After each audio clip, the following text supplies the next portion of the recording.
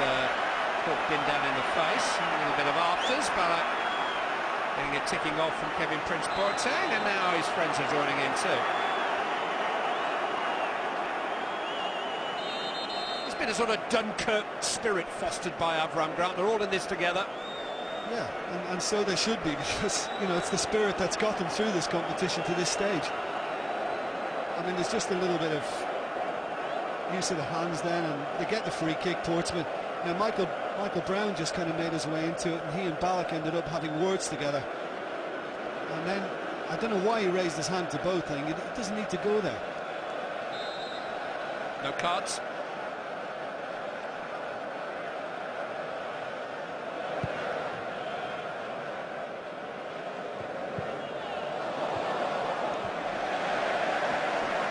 Portsmouth throw. Boateng.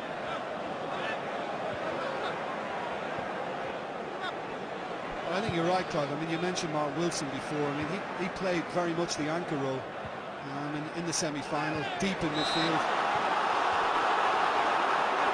And then you had the likes of Michael Brown and, and Yebda kind of busy just operating around him. And I think the fact that O'Hara is a little more advanced, I think it's taken away from that. There's another one from. He's just leaned into Ivanovic to get the free kick.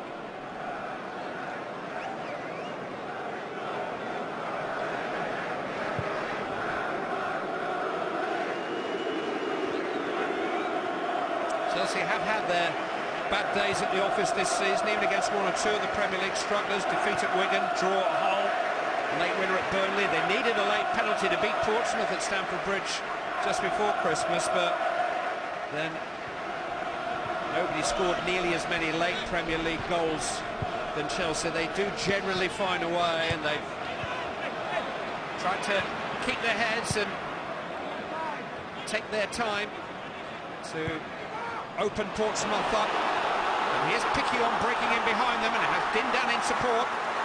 It's Frederick Piquionne. Aruna Dindane mishit it completely as Cole slid in. Alex cleared, but it was another chance for Portsmouth.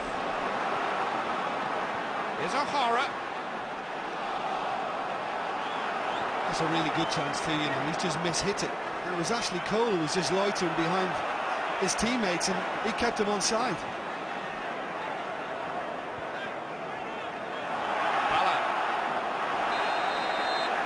Caught by Boateng after the ball had gone, and Ballack's in some discomfort here, and Boateng's going to have the discomfort of playing the rest of the game with a yellow card to his name.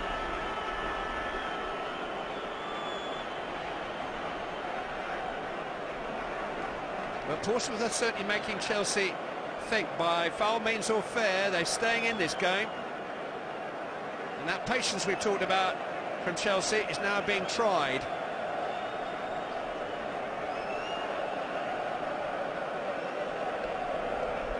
He was late. He, you know, he always likely to get a yellow card.